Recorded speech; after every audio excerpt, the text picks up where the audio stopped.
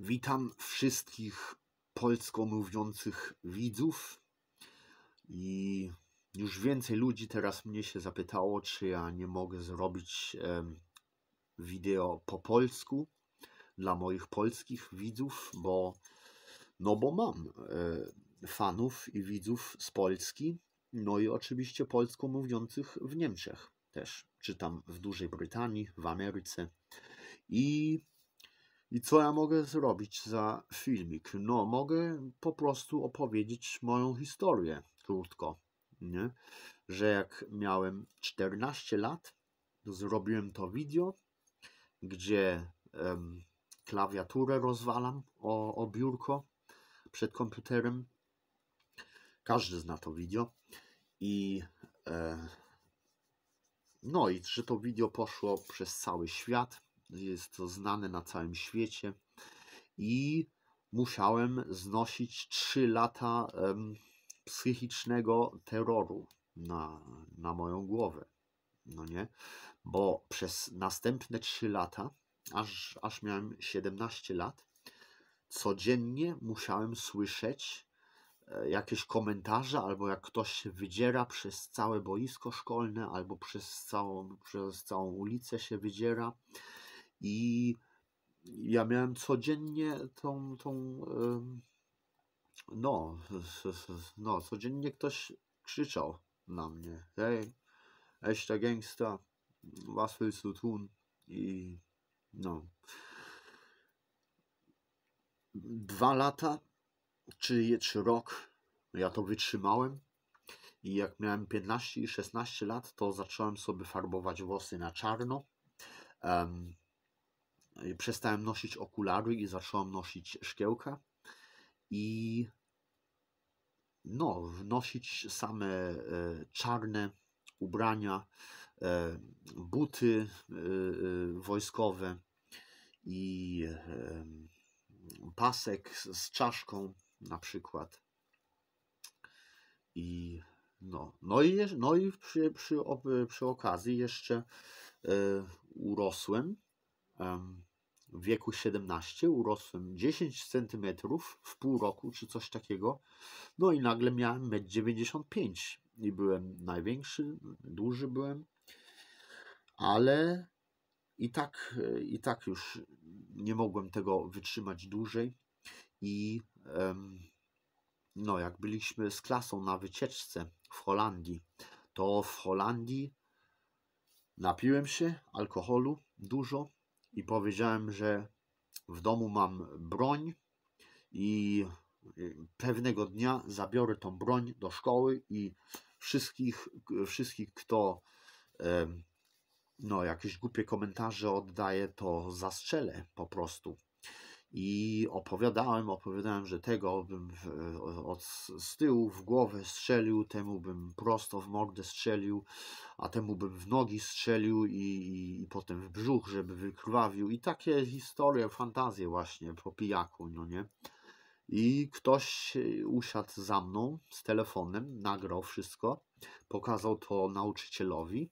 No i nauczyciel m, miał taki obowiązek wtedy wezwać policję. I policja przyjechała. E, e, no, z Holandii policja. Przeszukali mój pokój, moją walizkę i o pierwszej w nocy, o pierwszej w nocy przeszukali mój dom i mój pokój. Od moich rodziców dom. No. I no, w następny dzień rodzice mnie mogli odebrać z Holandii i wyrzucili mnie ze szkoły i dostałem karę e, 250 em, godzin socjalnych, czyli praca bez, bez pieniędzy, d- 250 godzin i e, i jeszcze na, na tydzień albo na dwa do więzienia dla młodzieży musiałem siedzieć z tydzień chyba. I no, i wtedy, a, ale wtedy mogłem dokończyć moj, moją maturę y, na innej, w, in- w innej szkole i wtedy następne dwa lata, w wieku 18 i 19, ja się odizolowałem od wszystkich ludzi kompletnie. E, nie miałem kontaktu z nikim. Ja tylko chodziłem na trening e, do, do burdlu i po zakupy. No. I w ciągu roku przytyło mi się 40 kilo. Miałem prawie 2 metry. Byłem wielki, silny i od tego czasu, jak się stałem już taki duży, w wieku 19, już nigdy więcej nikt mnie nie zaczepił, aż do tej pory. Czyli przez 12 lat nikt mnie nie zaczepił, nikt nie chciał konfliktu ze mną, nikt, mnie nie, nikt nie odważył się mnie wyzwać, prowokować, cokolwiek. No. No i no to ćwiczyłem tak dalej do wieku 20-21. I jak miałem 21 lat, to zrobiłem dietę, schudłem 20 kg i wtedy miałem 105 kg e, z, bez, bez tłuszczu, no same mięśnie, tak. Zacząłem chodzić na solarium, no, opalać się. I dostałem w końcu e, no, pracę, bo dwa lata nie mogłem znaleźć pracy. I to mi też powiedziała taka jedna szefowa z firmy, że pan tutaj nigdzie nie znajdzie pracy przez tą historię z tym, z tym no, z tą strzelaniną w szkole niby. I no po dwóch latach znalazłem w końcu pracę znalazłem dziewczynę moją pierwszą pierwszą wielką miłość i no i od, od tego czasu życie, życie wtedy znowu było fajnie. Było, było okropnie, był koszmar i wtedy znowu było fajnie żyć. I no, jak miałem 23 lata, skończyłem um, uczyć się zawodu mojego i poszłem pracować do Microsoft. Ja robiłem plakaty dla Xbox, dla gier Xbox. No, zajebista praca była, zajebista praca, ale chyba sobie trochę zniszczyłem ćpaniem w weekend i no, bo ja tyle ćpałem, że, że aż do czwartku musiał mi się mózg regenerować, nie? Czyli tylko w piątek byłem normalny w głowie, i no a w piątek weekend się zaczyna i od razu dalej ćpać. No. no to było za dużo. W końcu mnie wyrzucili i no, potem miałem okropną pracę z okropnym szefem, okropna firma i rok pracowałem w tej firmie okropnej. I wtedy znowu mnie wyrzucili po roku. I po, po tej pracy ja już w ogóle nie chciałem pracować. Ja sobie postanowiłem, nie, ja już więcej nie będę pracował, bo trafię znowu na taką chujową firmę i nie, nie, nie, nie, na pewno nie. I trzy lata, wtedy trzy lata byłem bez pracy. Jarałem, ćpałem i nie miałem pieniędzy. I no, aż e, no i co, co mam wam dalej opowiadać? No.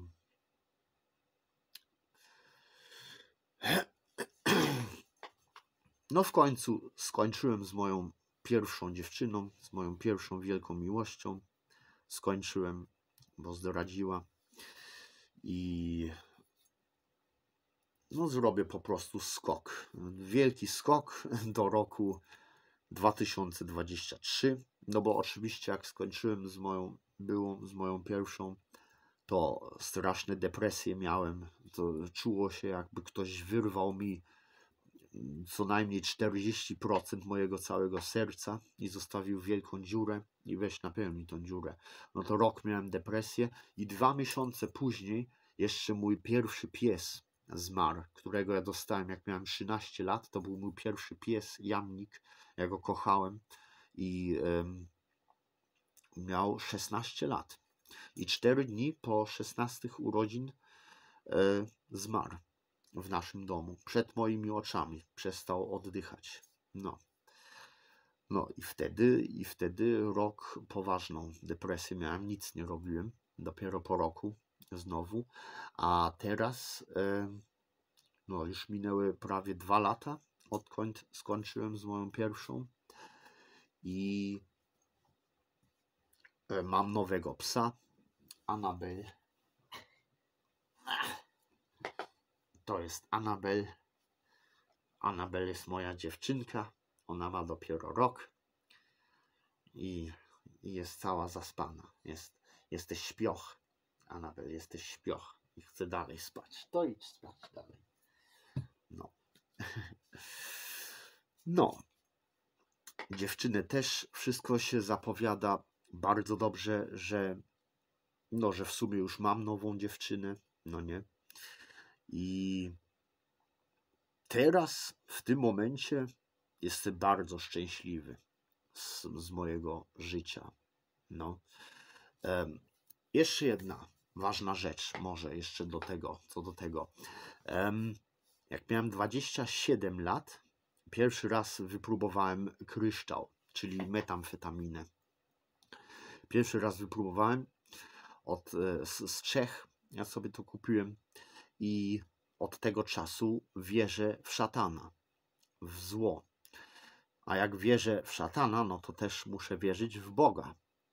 I zacząłem się modlić do Boga, rozmawiać z Nim, i On zaczął mi odpowiadać. Nie w języku, nie w słowach, tylko On mi pokazywał coś albo dał mi jakieś uczucie, żeby mi dać odpowiedź na moje pytanie. Bo zawsze jak się go coś zapytam, zawsze dostanę odpowiedź. No, ale ja się bardzo rzadko czegoś pytam. Na przykład kiedyś się zapytałem Bogu, dlaczego, dlaczego to życie jest takie do dupy i takie, takie okropne i chujowe. No, no to mi odpowiedział. Jechałem przez autobanę, przez autostradę, słońce świeciło i chmury w niebie widziałem. I nagle twarz widzę w chmurze i ta twarz się zmienia. Raz, drugi raz, trzeci, czwarty, piąty raz. I stale jakieś twarze inne się pokazują. I to była odpowiedź od Boga. Moje pytanie było, dlaczego to życie jest takie chujowe? I Bóg mi odpowiedział, to życie ma wiele twarzy, no, ale nie muszą to być złe twarze, czy no, taką odpowiedź miałem w każdym razie. No, czyli wierzę w Boga, modlę się codziennie, jak rano wstaję, rozmawiam z Bogiem, On mi odpowiada. I odkąd się modlę do Boga, już przestałem mieć taki pech. No. I teraz to już od, od lat. No, od yy, tak, tak, od trzech lat na pewno się modlę codziennie. I jak na razie zajebiście jest. tak, tak może iść dalej. No. Dobra. Tyle Wam opowiedziałem. To była moja historia w krótkiej wersji. Jak macie jakieś pytania, to pewnie, że piszcie w komentarze, to ja Wam odpowiem po polsku, oczywiście. I pozdrawiam wszystkich z Polski i wszystkich polsko mówiących ludzi w Niemczech, bo na przykład ja mówię po polsku, nawet, nawet bardzo dobrze, ale ja nie jestem Polak, ja jestem Niemiec. Ja jestem urodzony Niemiec, który się urodził i wychował w Niemczech, który nic nie ma z Polakami do czynienia, czy z Polską. No, ja mam e, niemieckie obywatelstwo i jestem Niemcem, który rozmawia po polsku. Niemiec z polskimi rodzicami, można powiedzieć. Tak. Dobra. Pozdrawiam wszystkich. Życzę wspaniałego tygodnia Wam i do następnego. Do zobaczenia. Peace.